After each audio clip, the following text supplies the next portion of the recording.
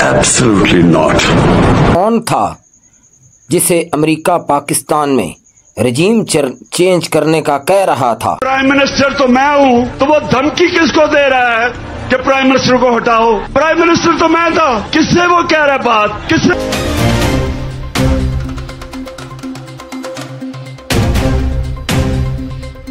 بسم اللہ الرحمن الرحیم۔ السلام علیکم ناظرین میں احمد فراز ہوں آپ لوہا ٹھتی ٹی وی دیکھ رہے ہیں۔ ناظرین، آپ کو دو سال پیچھے لیے چلتا ہوں۔ جب بطور وزیر اعظم عمران خان نے بہت اچھے اچھے جلسے کیے اور بڑے زبردست انٹرویو بھی دیے، اور انہوں نے اپنے جلسوں میں اور انٹرویوز میں کچھ سوالات اٹھائے۔ ان سوالات کے مد نظر رکھتے ہوئے ایک سوال ابھرا کہ وہ کون تھا؟ وہ کون تھا؟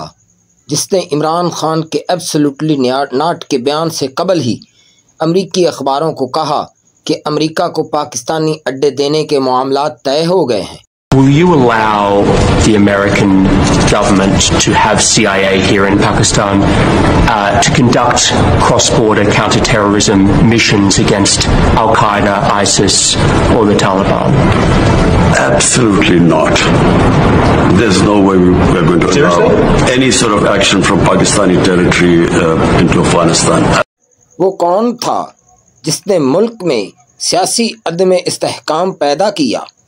جو آج قاتل اور مقتول اکٹھے ہو گئے ہیں، ان کو جنہوں نے اکٹھا کیا، ان کا بھی ہمیں پتا ہے۔ ہمارے ملک میں باہر سے پیسے کی مدد سے حکومت تبدیل کرنے کی کوشش کی جا رہی ہے۔ پیسہ باہر سے لوگ ہمارے استعمال ہو رہے وہ کون تھا جسے امریکہ پاکستان میں رجیم چینج کرنے کا کہہ رہا تھا۔ پرائم منسٹر تو میں ہوں تو وہ دھمکی کس کو دے رہا ہے کہ پرائم منسٹر کو ہٹاؤ؟ پرائم منسٹر تو میں تھا کس سے وہ کہہ رہا ہے بات؟ کس سے وہ کون تھا جس نے امریکہ کو کہا تھا کہ عمران خان کا روس جانے کا فیصلہ ان کا ذاتی فیصلہ تھا؟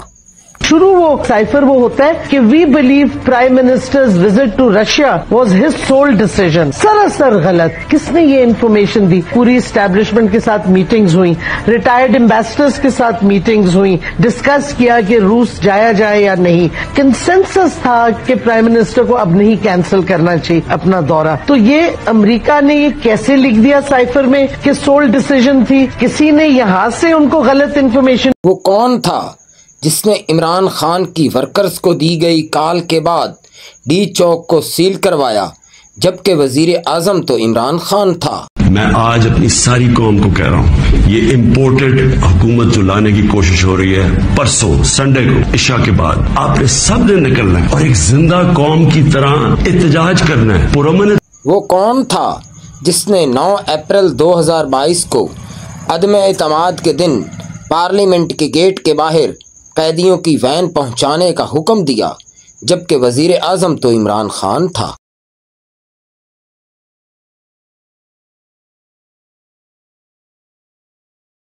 وہ کون تھا جس نے ڈاکٹر رضوان، شہباز گل، شہزاد اکبر اور اعظم خان کے نام اسٹاپ لسٹ پر ڈالنے کا حکم دیا، جبکہ اس وقت کوئی وزیر اعظم موجود نہیں تھا۔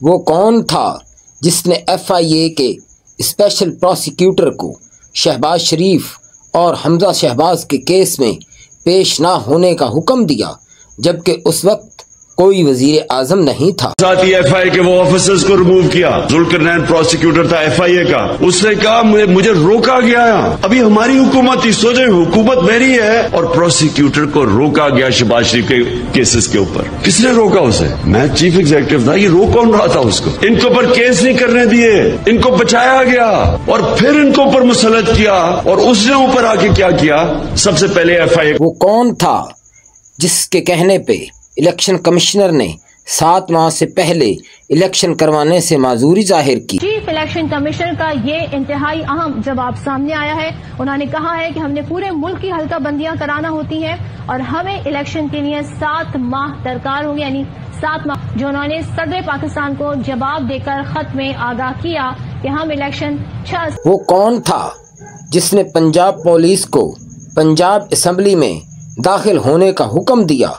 جبکہ اسپیکر چودھری پرویز الہی اور وزیر اعلیٰ عثمان بزدار تھے۔ بھی انہوں نے کیا ہے یہ انلیگل ہے اسمبلی کی تاریخ میں کبھی نہیں ہوا کہ پولیس کو بلایا جائے اور پھر کاروائی تو ہاؤس کے اندر ہوئی نہیں ہے۔ اور جہاں پہ ہمارے آئیز کے بیٹھنے کی لابی تھی اس کو لاک کر کے سامنے پولیس کھڑی کر دی گئی۔ تو گویا کہ یہ ساری کاروائی انلیگل وہ کون تھا جس نے گورنر پنجاب کے سیکرٹری کو حکم دیا کہ گورنر پنجاب کا حکم نہ مانا جائے۔ جب میں نے منگوائی گن پوچھا اس نے آپ میل نکال اٹھا کے دیکھے میرے اسٹاف نے کہا چودہ سو بندہ تو گیٹ پہ کھڑا ہوا پولیس والا۔ اور اندر نون والے جو ہے بیٹھے ہوئے اور یہ سارا نہ اندر سے باہر جا سکتے ہیں باہر والے اندر آ سکتے۔ ہیں میں نے اس کو کافی انٹیریئر منسٹر کو لیٹر کہا۔ لوکل تھانے کے ایسے تو سے لے کے چیف جسٹس تک میں نے ہر بندے سے کہا کہ بھائی میں گورنر ہوں۔ مجھے جب میں نے پوچھا کہ میرے پاس نفری کیا کہ ان کو اٹھا ان کا دفاع کریں۔ تو مجھے یہ بتایا گیا کہ جی پولیس جو ہے وہ آئی جی کے انڈر ہے بیوروکریٹ ہیں وہ سی ایس کو رپورٹ کرتے ہیں چیف سیکرٹری کو۔ تو آپ کے پاس صرف ایک ملٹری وہ کون تھا؟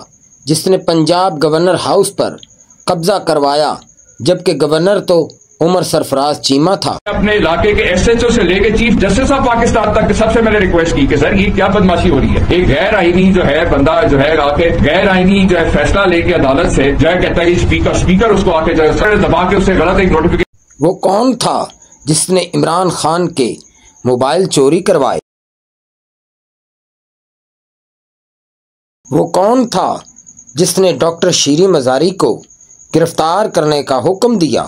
جو کہ پی ٹی آئی رہنما ہے ان کی جانب سے یہ بتایا گیا ہے سب کارکنان فوراً کو پولیس اسٹیشن پہنچے۔ شیری مزاری جو کہ سابق حکومت میں وفاقی وزیر بھی رہی ہے اور انسانی حقوق وہ کون تھا جس نے لانگ مارچ کے مظاہرین پر تشدد کرنے کا حکم دیا۔ تشدد کیا گیا کیونکہ اب پوری طرح رپورٹس آ رہی ہیں کہ ہوا اصل میں کیا کس طرح کی حربے استعمال کیے گئے۔ انہوں نے جو ہمارے ساتھ کیا جس طرح کا تشدد کیا جو انہوں نے گلو بٹ ہمارے خلاف استعمال کیے۔ ہم جس طرح کوئی ملک دشمن تھے ہم پتہ نہیں کوئی اسلام آباد میں کوئی انتشار پھیلانے آ رہے تھے۔ عورتیں کھڑی ہوئی ہیں بچے ہیں بچے لوگوں نے اٹھائے ہوئے ہیں۔ تو کیا وہ کون تھا جس نے پی ٹی آئی کے ورکرز اور رہنماؤں پر ہونے والے تشدد کے خلاف ایف آئی آر درج نہ کرنے کا حکم دیا۔ میں نے آج بطور شہری آج درج کروانے کی کوشش کی میرے وکیلوں نے شفیق آباد تھانے کے اندر تو انہوں نے کہا تو ناظرین آپ نے ملاحظہ فرمایا کہ وہ کون تھا۔ لیکن آج کل دو ہزار چوبیس میں وہی بندہ نجی محفلوں میں اور کئی ایسی تقریبات میں قسمیں اٹھا کے کہتا ہے کہ میں سیاست میں ملوث نہیں تھا۔ آپ مجھے بتائیں، کیا ریٹائرڈ کم ریٹائرڈ جنرل قمر جاوید باجوہ، جو عمران خان کی رجیم چینج کا سب سے بڑا مورا تھا، کیا وہ اس وقت سیاست میں ملوث نہیں تھا؟ آپ نے مجھے اس سوال کا جواب کمنٹس میں دینا ہے۔ آج تک کے لیے اتنا ہی کافی۔ اپنا خیال رکھیے گا، اس چینل کا بھی خیال رکھیے گا۔ اجازت دیجیے اللہ حافظ۔